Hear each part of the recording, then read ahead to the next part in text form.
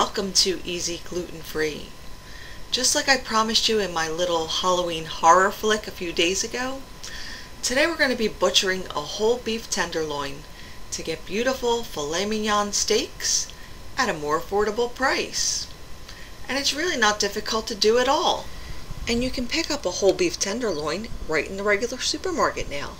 And this beef, which is actually a free range product of Australia, was being sold for $8.99 a pound, but it was on sale for $5.99 a pound.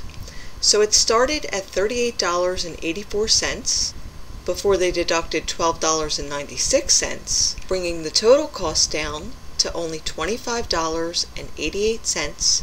But back to the butchering. When you open the cryovac bag, it's a good idea to just snip open one end of the bag then lower the tenderloin down into a large casserole dish to catch any blood that might drip out. But actually, this was packaged with little butcher sponges that kept it practically mess free. Now, since I didn't have a cutting board large enough to tackle this project, I just laid the whole thing out onto a large piece of parchment paper. And a whole beef tenderloin essentially contains three main parts. In the middle, there's the actual tenderloin itself, which is where we'll cut the filet mignon steaks. And at the wider top end, there's a shorter muscle attached to the tenderloin, usually called the head or the wing. Then running along the side, there's a long thin piece called the chain. And before you even get your knife involved here, you can just use your fingers to separate it from the main muscle, and you'll see that it detaches pretty easily until you get to the top. And then you can just use a small boning knife to follow through until you reach the end, and then you can set this aside. And that's all good meat, so don't throw this piece away. Okay, now to remove the head portion. On the side with the silver skin, the definition of the muscle is pretty clear. So I turned it over and aiming towards the defined part on the other side, just followed along with my knife until the muscle was freed from the main tenderloin. Now one of the most important parts to this whole procedure is removing the tough inedible silver skin and to do this at about 2 inches from the bottom of the silver skin. Carefully slide your knife under but as close to the silver skin as possible. And now you've got a tail to hold on to as you reverse direction and make another pass going towards the top.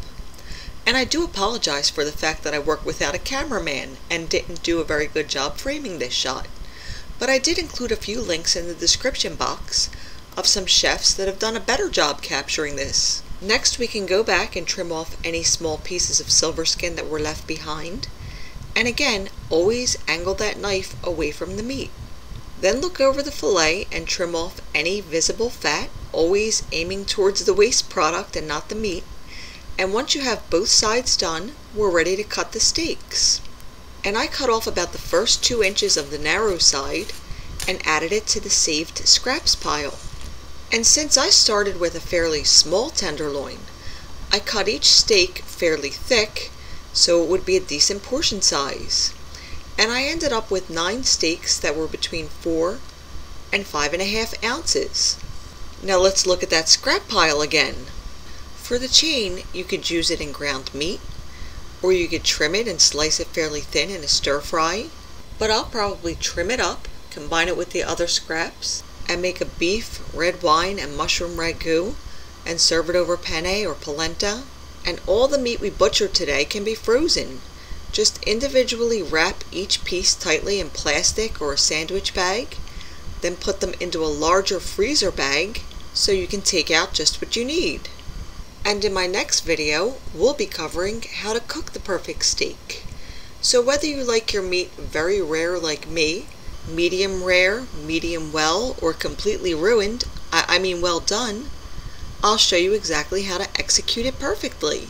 And if you'd like to check out my recipes, you could always visit my blog at the link below. And for brand new recipes every week, don't forget to subscribe. See you again soon.